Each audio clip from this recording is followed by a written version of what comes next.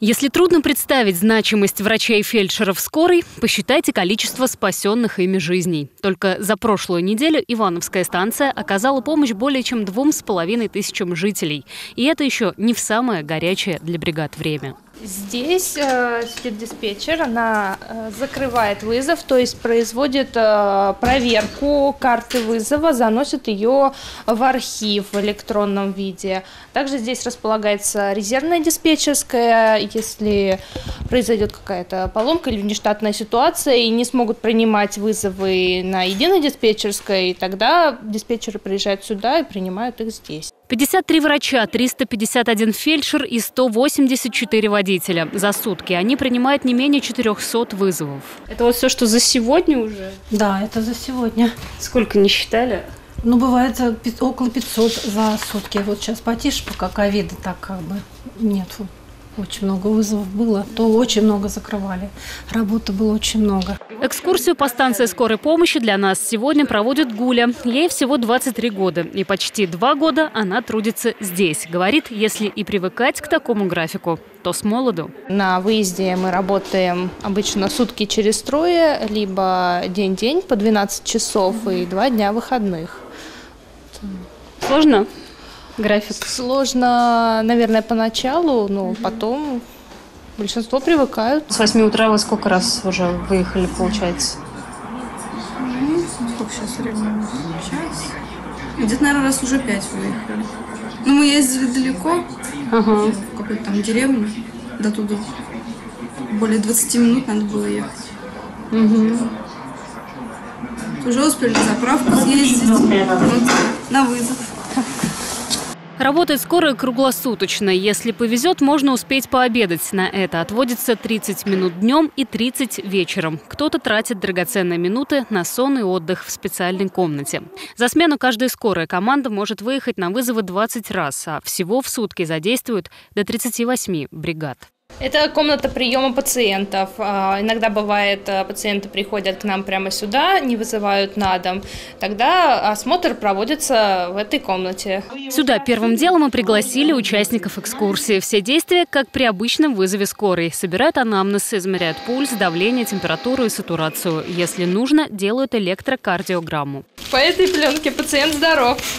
А в принципе? Ну, в принципе, э Кардиогра... По кардиограмме можно увидеть э, инфаркт миокарда, а, можно увидеть аритмию, нарушение проводимости, электрического импульса по сердечной мышце, рубцовые изменения иногда тоже видно. Своих почтенных гостей работники скорой сводили в разные уголки станции и провели обучающую лекцию, которая, говорят посетители, изменила их мнение. Очень часто от людей слышишь, что, например, очень долго не едет скорую помощь, там обижаются и все такое прочее. Сегодня нам разъяснили, почему. Именно потому что, э, как сказали, есть э, отложенные вызовы и экстренные вызовы, поэтому их надо разделять. Буквально сегодня станция скорой медпомощи получила важную медаль за борьбу с коронавирусом. Теперь она – часть музейной коллекции. Здесь собраны различные экспонаты. В принципе, вот оборудование, если вот его э, зарядить, подключить, оно тоже будет работать, но э, уже требуются какие-то запчасти, которые не выпускают и которые мы уже не сможем где-то приобрести. Ну, можно сказать, что некоторые фельдшеры на нем работали, на этом оборудовании, те, кто сейчас работает. Да, да, на всем оборудовании. Даже я в свое время вот э, застала вот это вот, э, вот этот дефибриллятор, то есть вот я с ним работала. Историю Ивановская станция скорой медицинской помощи ведет с 1924 года. Тогда, сто лет назад, медицинскую помощь оказывали на санях и лошадях. Сейчас, конечно, рабочие скорые лошадки выглядят совершенно иначе. Это современные автомобили, которые оснащены самой современной аппаратурой для оказания помощи в любой ситуации. Добрый день, Мария. Расскажите, что в вашем арсенале есть? В нашем арсенале очень много всего. Реанимационная сумка, дефибриллятор, носилки и шины. Но чаще всего используют сумку для оказания первой помощи. Вот чемоданчик. Да, вот да? этот вот желтый чемоданчик. Ой, какой он тяжелый. Волшебный. Сумки у нас тяжелые. Сколько он весит? Больше 10 килограмм. Здесь ампулы для оказания помощи. Это вот хрупкие фельдшеры, девочки, вот это таскают? Да, да. Все мы носим вот это вот много лет. Много лет они носят не только такие вот чемоданчики, но и истории о судьбах своих пациентов. Не всегда простые. Осадок в сердце все равно. Со- Сочувствие к больным.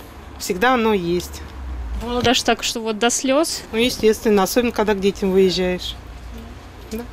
Например, какой-то можете рассказать? Ну, когда дети руки, ноги ломают, черепно-мозговые. А уж когда без сознания, так там вообще. Они первые, кто оказывается рядом, когда нужна помощь. И последние, кто отмечает праздники, даже свой профессиональный. Ведь каждый день они находятся на страже жизни ивановцев. Наталья Сергеева, Максим Шишкин, телекомпания «Барс».